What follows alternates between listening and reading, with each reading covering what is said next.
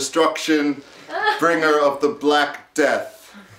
I've come to homeopathically thin out your boreal world by bringing you all the plague. You are already dead.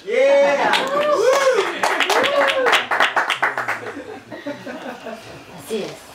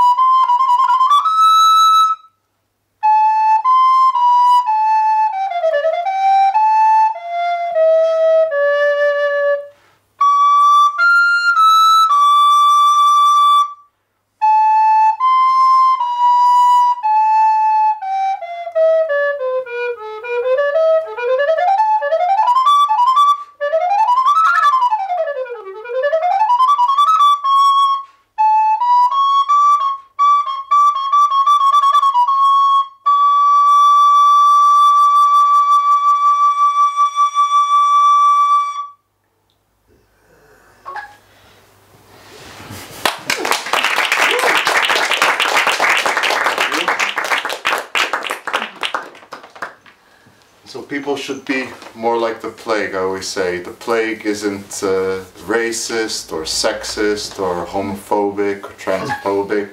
Uh, the plague kills everyone. So the message is kill everyone.